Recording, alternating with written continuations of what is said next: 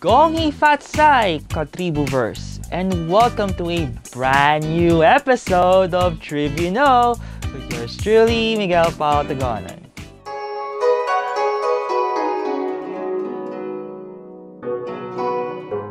Next month will be Chinese New Year as the Chinese and Filipino community celebrate a brand new year of good fortune and food festivals with the coming of the Year of the Tiger.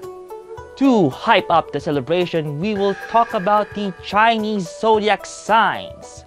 The Chinese zodiac is a traditional classification scheme based on a lunar calendar that assigns an animal and its reputed attributes to each year in repeating 12 year cycle.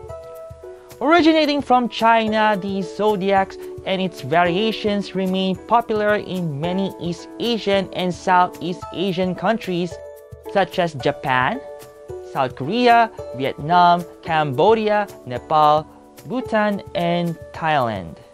The zodiac signs of the Chinese calendar are also the counterparts to the Western zodiacs with similarities such as 12 time cycles, and each sign identifies what personality or culture a person comes from. The difference, however, is that the animals are not associated with constellations spanned by the ecliptic plane.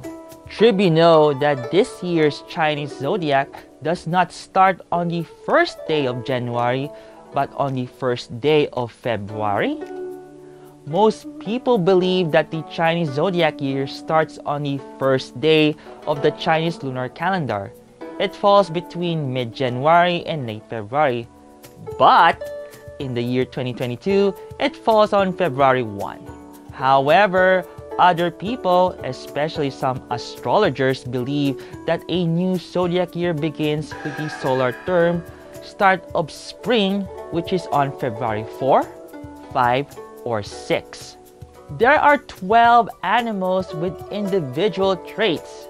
They are the rat, ox, tiger, rabbit, dragon, snake, horse, goat, monkey, rooster, dog, and the pig.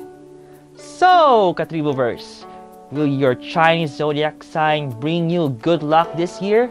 For past episodes of the show, like our official Daily Tribune and Concept News Central Facebook pages. Like and subscribe to our YouTube channel, TribuneNOW. See ya and Happy Chinese New Year!